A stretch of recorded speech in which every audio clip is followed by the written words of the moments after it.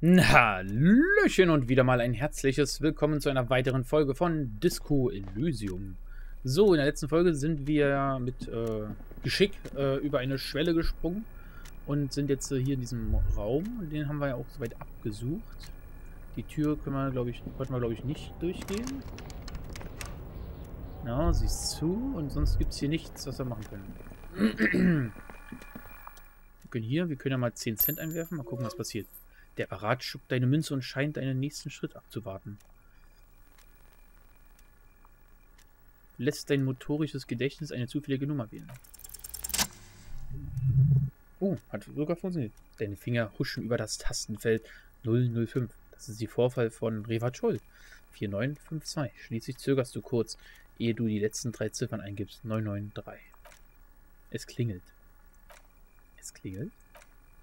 Es klingelt immer noch, bis es knistert und jemand abnimmt. Die Person sagt, Video Revachul, Ihr rund um die Uhr Videoverleih.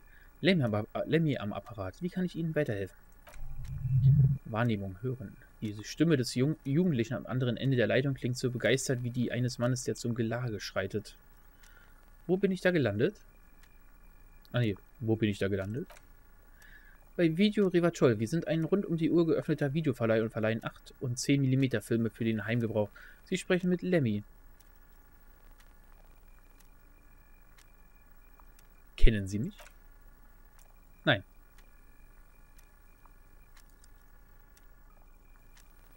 Hm. Nein, das wollte ich nicht wissen. Mich interessiert, welche Bedeutung Ihr Laden für mich hat. Das weiß ich leider nicht. Wir sind ein Videoverleih. Vielleicht leihen Sie hier Videos aus? Warum habe ich Sie angerufen? Haben Sie vielleicht angerufen, um Ihre Leihfrist zu verlängern? Müssen Sie Ihre Leihfrist verlängern?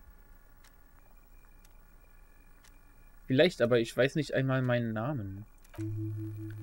Oh, wir haben Erfahrung gewonnen. Wenn Sie weitere Hilfe benötigen, können Sie uns an der Ecke Wolcher Hauptstraße einen Besuch abstatten. Es, jetzt klingelt es.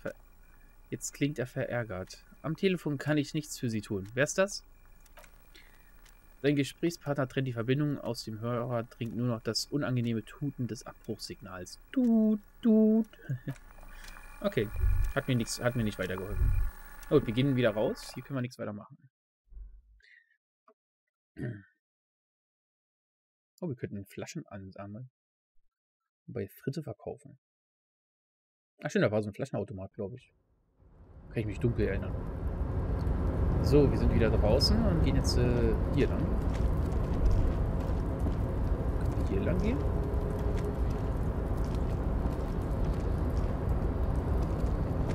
Ne, scheinbar nicht. Was ist das da?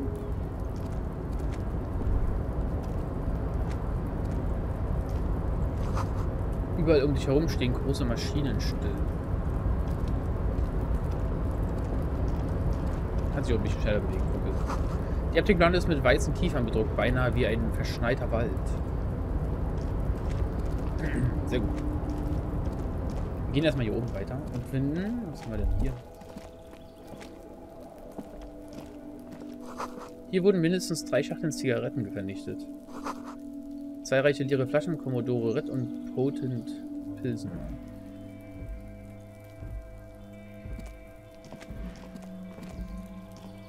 Ne, da komme ich nicht hin. Mal, was das hier ist. Wachkabine. Das ist eine Wachkabine, an der Tür steht der Name René Arnox. Willenskraft, fehlgeschlagen. Hör mal, nimm dir ruhig etwas Zeit für dich. Das ist okay. Setz dich und verschnauf mal. Kim, ich werfe kurz einen Blick hinein. Du durchsuchst die Kabine. Wenn es sein muss, der Lieutenant sieht sich um.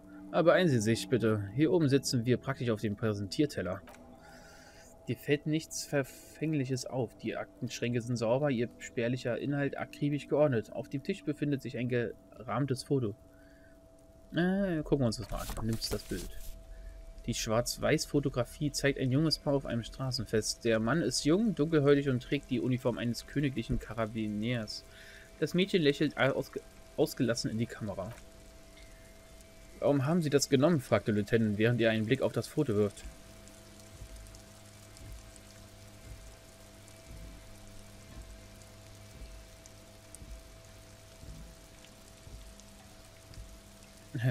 Irgendwas an diesem Mann weckt mein Interesse. Ich glaube, es könnte sich eine kleine Nebenermittlung daraus ergeben. Gut, er nickt. Aber lassen Sie uns weitergehen. Ich will nicht, dass wir hier beim Herumschnüffeln beobachtet werden. Du setzt dich hin und ruhst dich aus. Der Stuhl ist nicht so schmucklos wie der Rest der Kabine. Auf der Sitzfläche ruht ein dünnes graues Kissen, das mit schwarzen Schleifen befestigt ist. Du atmest tief ein. Abgestandene Luft steigt dir in die Nase, doch in deiner Lunge schwebt kein einziges Staubkorn. Das Innere der Kabine ist lupenrein. Okay. Du suchst einen kleinen Helferchen. Okay. Abgesehen von alten Stundenzetteln und Belegen sind die Schubladen leer. Aber in einer kleinen Schachtel entdeckst du ein paar billige Schmerztabletten. Sie sind kurz, sie sind, äh, sind vor kurzem abgelaufen.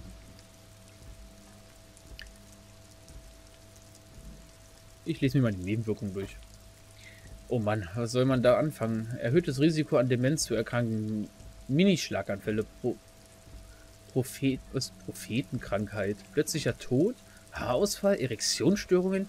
Lebensgefährliche Blähungen. Wässriges Blut. Schwarzer Schleim. Unkontrollierbares Weinen. Erhöhte Anfälligkeit für Iopera. Inoperable Gelenkerkrankungen. Vollständige Wirbel Wirbelsäulenkollaps. Alter Schwede. Denk nicht darüber nach, schnell. Denk an was anderes.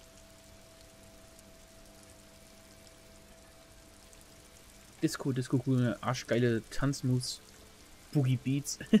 mein Gott, ich bin zu einer Frau gegangen und habe tatsächlich, ich will ficken, ich will ficken ihn haben, zu ihr gesagt, was zum Teufel ist bloß Lust mit mir. Was ist das Problem? Für mich klingt das alles ziemlich normal. Ich habe Angst, dass mich im Diesseits nie wieder jemand in den Arm nehmen oder lieben kann.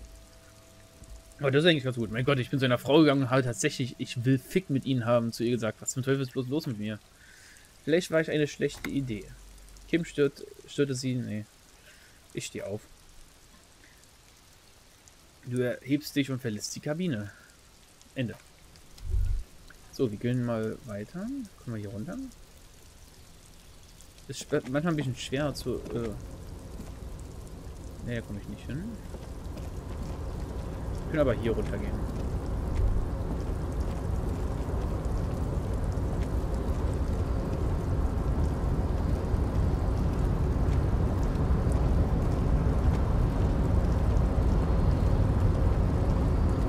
Oh, was haben wir denn hier?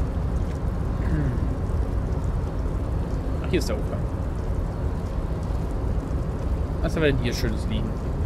Äh, auf der Plattform siehst du ein ausgeglichenes Firmenlogo, Qualsund. Qualson ist artig für Walfjord. Okay.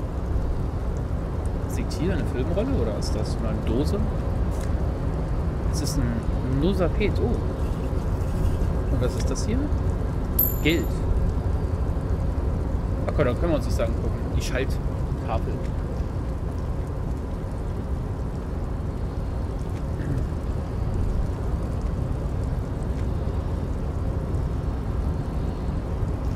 komm, jetzt mal schon.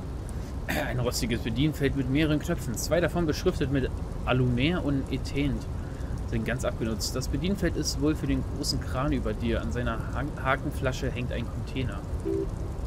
Alumer in an achso, Alumer an, Etent aus.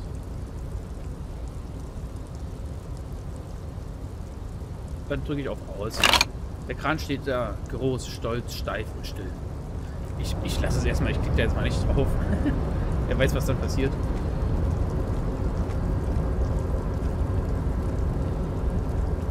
Okay, hier komme ich nicht weiter.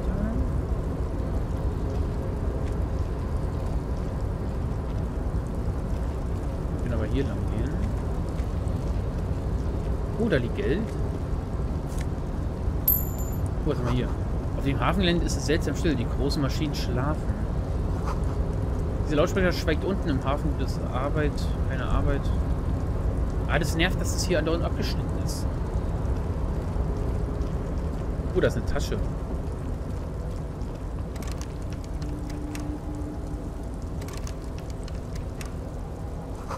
Aus der Kluft vor dir steigt der starke Geruch von Öl und Rost empor. Riecht wie Blut. Oh.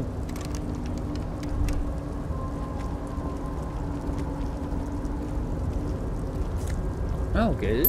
Sehr schön. Mal hier. Thermoskannen in Industrieprozess. Riecht nach Rostkaffee. Die Rostkaffee. Und hier liegt noch mehr Geld.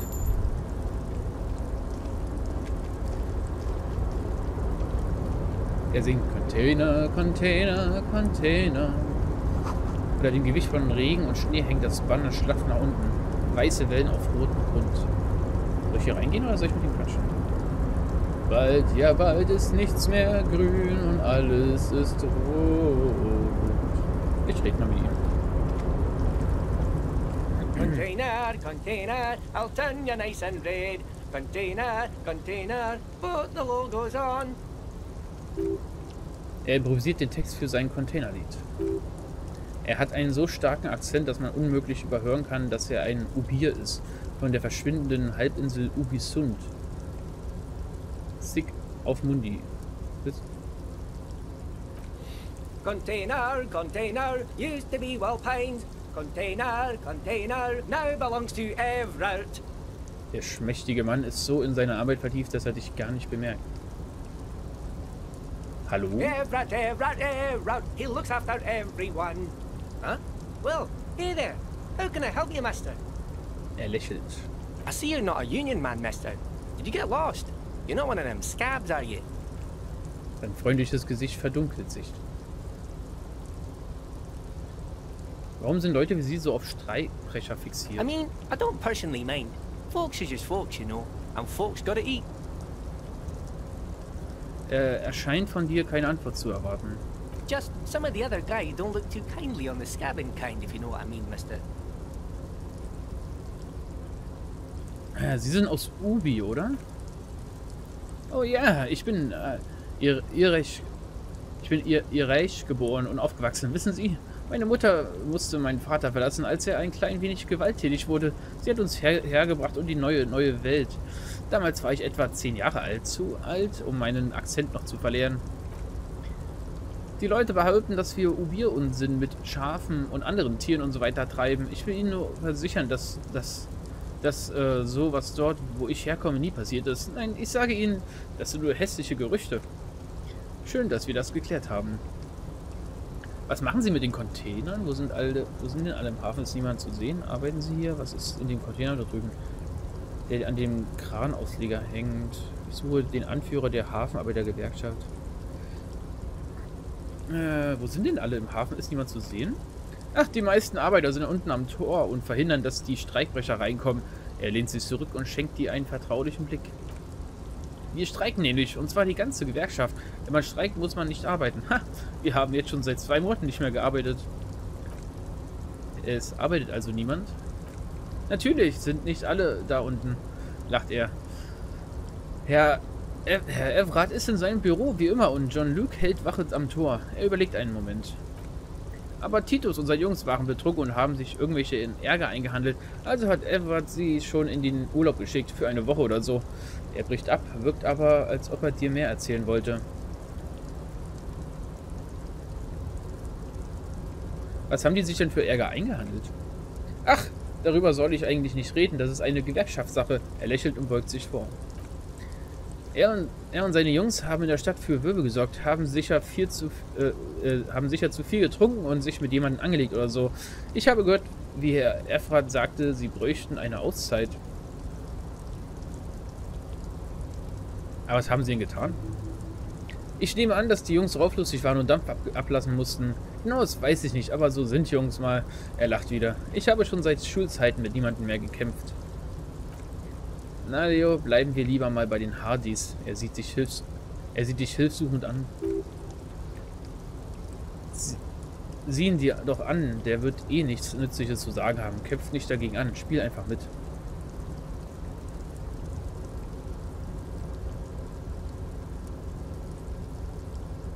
Okay, Leo, erzählen Sie mal von diesem Kampf, in den Sie verwickelt waren. Ich weiß noch, ich war der Kleinste in der Klasse. Er lacht fröhlich. Die größeren Jungs haben mich immer gehänselt. Früher war ich nämlich ziemlich aufbrausend und bin immer mir nichts hier nichts aus der Haut gefahren. Aber Herr Everett und sein Bruder sind mir immer zu Hilfe gekommen. Einmal haben sie den alten Noel Becker ver so verprügelt, dass er am Ka Kopf genäht werden musste. Er lächelt wieder. Hinterher hat Noel sich nie wieder mit jemandem angelegt. Herr Everett und Herr Edgar sind wirklich nette Menschen. Sie sollten sich mit Herrn Everett unterhalten. Ich bin mir sicher, dass sie gute Freunde werden. Er ist mit allen Leuten hier befreundet. Der kleine Mann fängt an zu husten. Ja, das kenne ich. Was machen Sie mit den Containern? Ach, ich mache nur Planen für die Container hier. Ja, ja, das mache ich. Das macht es den Kranführern leichter, sie zu finden. Er deutet auf die Container, die sich hinter ihm auftürmen. Und, äh, was ist hier los? Du betrachtest die Berge an Containern, die sich hinter ihm auftürmen. Die Container im Depot sind wild sind Wildpines Farben entsprechend grün lackiert, aber der Berg, der sich hinter Leo auftürmt, ist ganz rot, die Farbe der Gewerkschaft. Als ob sich eine rote Infektion vom Herzen des Containerdepots nach außen hin ausbreiten würde. Wahrnehmung. Unter den Containerplanen der Gewerkschaft befinden sich anscheinend Tanks. Ja, das sind Tanks.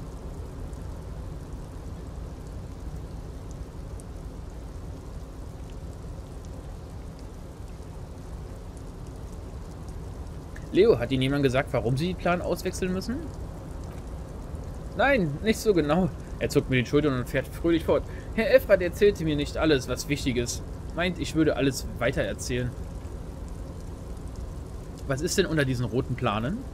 Ach, das weiß ich leider nicht. Angeblich sollen es Chemikalien sein. Ich glaube, auf den meisten sind Schilder drauf. Das sieht nach einer umfassenden Umdekorierung aus. Umde Umdekorierungsaktion aus, Kim. Ja, einer heimlichen um Umwidmung. Auf sämtlichen roten Containern befindet sich das Logo der Gewerkschaft der Debardeur. Danke, Leo. Sie waren eine große Hilfe. Du schießt das Thema ab. Ach, gar kein Problem. Gar kein Problem, bekräftigt der kleine Mann fröhlich. Arbeiten Sie hier? Ja, ja, jeder braucht doch einen Job und das ist meiner. Ich heiße übrigens Leonard Leonard Belek, aber alle nennen mich Leo. Der kleine Mann hebt seine Hand zu einem Willkommensgruß. Wenn Herr Edgar verreist ist, bin ich quasi die rechte Hand von Herrn Everard. Und wenn Herr Everard verreist ist, bin ich die rechte Hand von Herrn Edgar. Er lacht. Eigentlich ist ja Fräulein Beaufort die rechte Hand, auch wenn sie eine linke ist. er lacht wieder gutmütig. Wer ist dieses Fräulein Beaufort? Beaufort. Der Lieutenant sieht äh, zu Leo auf. Eine sehr hübsche Dame, ihre Haut ist wie Schokoriegel von Dukes and Source die meine Frau so mag. An denen kann man so schön herumschlecken, wenn man sich nach dem Essen neben das Radio setzt. Wie, Pardon. Wie meine Frau und ich das immer machen. Aber ich kann nicht immer nur Radio hören. Hier gibt es so viel zu tun. Ich habe immer alle Hände voll zu tun, damit alles weiterläuft. Ja, ja, so ist das.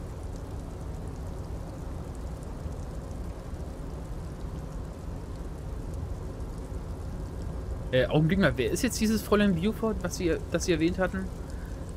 Ach, Lissy, die ist wirklich sehr schlau. Herr Efrat hat sie auf eine feine Schule und so geschickt, östlich vom Fluss. Vier Jahre war sie weg und als sie zurückkam, war sie ganz fein und rechtsgelehrt. Aha. Für das Wort hat er offensichtlich Respekt. Okay. Aber sie ist ein nettes Mädel, hier in der Nachbarschaft aufgewachsen, kennt alle und kommt mit allen aus. Eines Tages wird sie mal eine echte Stütze der Gemeinschaft sein, da bin ich mir sicher. Er fährt fort. Wenn meine Frau und ich ein Kind gehabt hätten, hätte ich mich gefreut, wenn das Kind wie sie gewesen wäre. Aber meine Frau kann keine Kinder bekommen. Oh, mein Beileid. Das sagte Dr. LeMaid. LeMaid und die weiß über solche Sachen Bescheid. Ist schon seit fast 50 Jahren Ärztin. Er seufzt und verstummt, während er dich mit seinen ach so blauen Augen sanftmütig anschaut. Okay, wollt ihr vielleicht sie heiraten? Maybe? Everett hat also eine Anwältin namens Fräulein Buford ausbilden lassen. Interessant.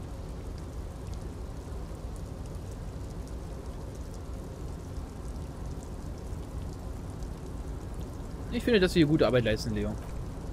Ja, hier läuft wirklich alles wie geschmiert. Machen Sie weiter so, Leo. Der Lieutenant schenkt dem kleinen Mann ein Lächeln.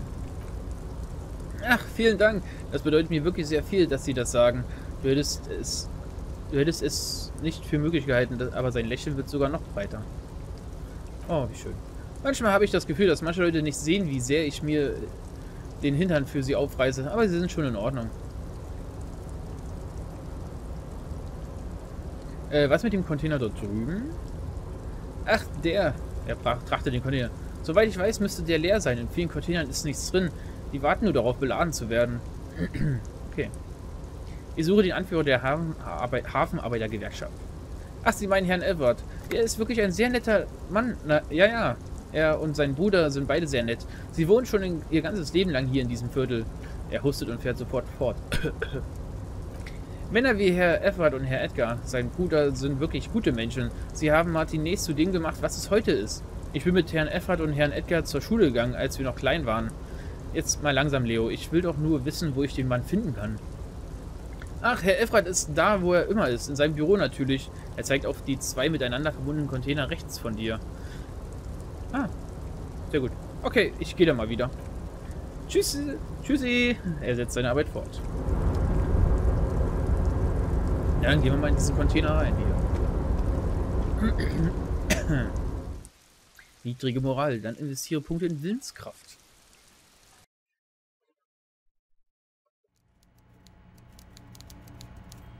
Uh, ist ja richtige... Ich meine, jetzt ist es ein Container, aber scheinbar auch äh, ein, so aufgebaut, dass es wie ein Büro äh, ist, ne? Gut, liebe Leute, ich würde sagen, an der Stelle beenden wir erstmal diese Folge. Wie es weitergeht, erfahrt ihr dann in der nächsten Folge, logischerweise. Also bis dann, cheerio!